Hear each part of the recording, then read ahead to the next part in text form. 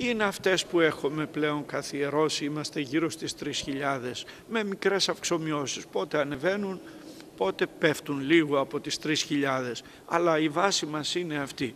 Ε, βέβαια δεν ξέρω τώρα κατά πόσον αυτό θα μπορέσει να συνεχιστεί. Εμείς καταβάλουμε προσπάθεια, είπα, ε, βέβαια, είπα στους ιερείς μας, ε, διότι υπάρχουν και μερικοί αφιλότιμοι που φιλοτίμως εργάζονται προκειμένου να μειωθεί αυτό το έργο νομίζοντας ότι θα βλάψουν εμένα ή και την Μητρόπολη και την Εκκλησία.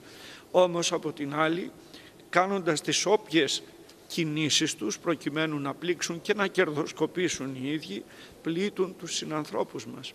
Και ξέρετε ε, ενώ υπάρχει πολύ μεγάλο φιλότιμο και αλληλεγγύη όπως είπε και ο Σεβασμιότατος καταβάλλεται αυτή η προσπάθεια να σταματήσει εκ μέρους της Εκκλησίας.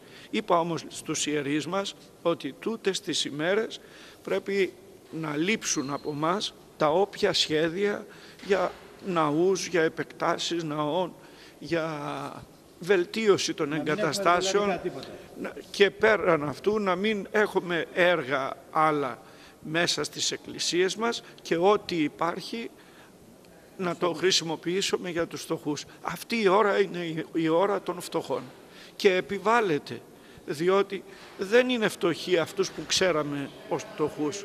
Σήμερα είναι φτωχοί αυτοί που βρίσκονταν στη μεσαία τάξη και παρά τα όσα λέγονται ότι κυρίως θρέφομαι πρόσφυγες, μετανάστες και όλα τα σχετικά, η πλειοψηφία πλέον δεν είναι αυτή, είναι μια μικρή μειοψηφία.